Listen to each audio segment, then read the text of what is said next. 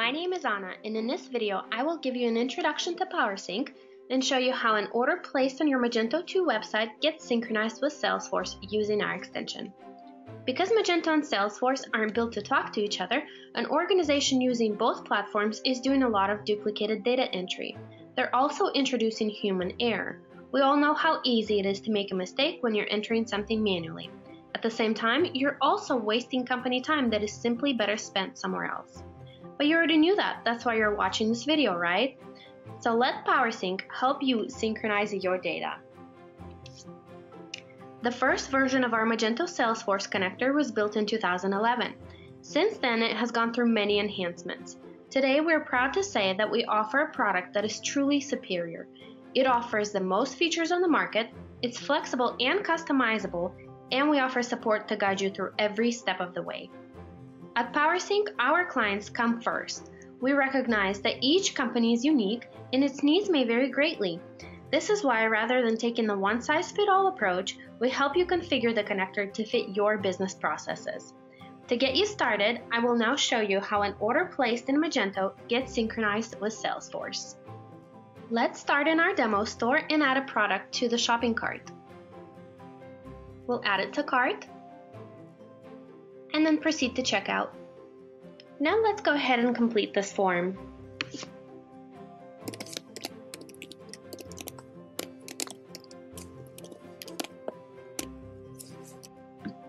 We'll use flat rate shipping.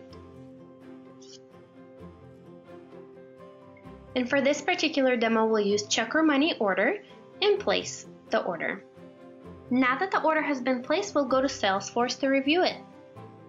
Because our payment has not been received, the order will remain as an opportunity in Salesforce. If we go to view it, we can see that we captured the Magento order number, the order total, the product that was purchased, as well as tax and shipping fees. We created a contact for the person placing the order and attached it to the correct account based on the company name. Now, let's go ahead and invoice the customer in Magento. We'll locate the order and click on View, and then click on Invoice, and submit it. Now let's go ahead and assume that payment has been received from the customer. We'll go to Salesforce and refresh the page, and we can now see that the opportunity stage has been changed to close won, and the invoice and order were created and linked. From here, let's take a look at the order. Again, we can see the Magento order number, billing and shipping information, as well as what was purchased. If we click on the invoice, we can see which products were purchased and that payment has been received. Lastly, let's go ahead and ship the product to our customer. We will click on Ship. We'll add a tracking number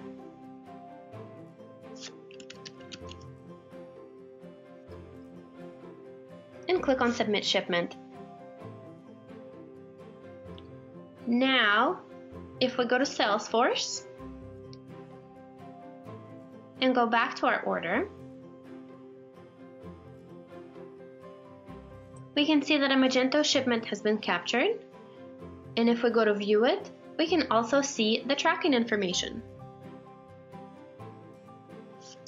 This concludes our introductory demo. For a more in-depth look at our Salesforce connector, please see videos such as mappings, B2B, and B2C capability review, multi-website, and multi-currency support.